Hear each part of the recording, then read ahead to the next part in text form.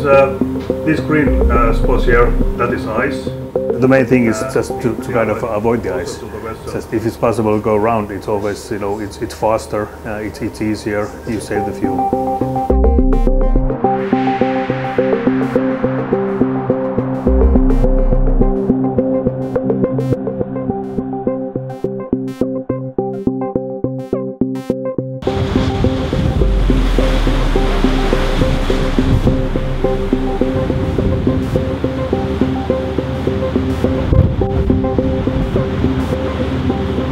Well, the Arctic Circle is, uh, is a rite of passage for mariners.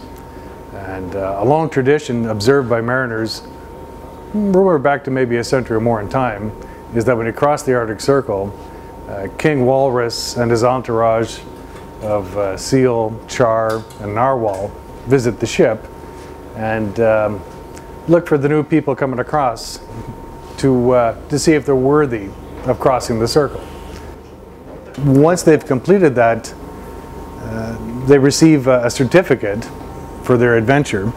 And uh, this one in particular is the one I received in 1991, uh, 26 years ago. And um, once they get this, you have to bring it with you every time. And if you don't bring it, you're challenged and you would have to redo the ceremony again.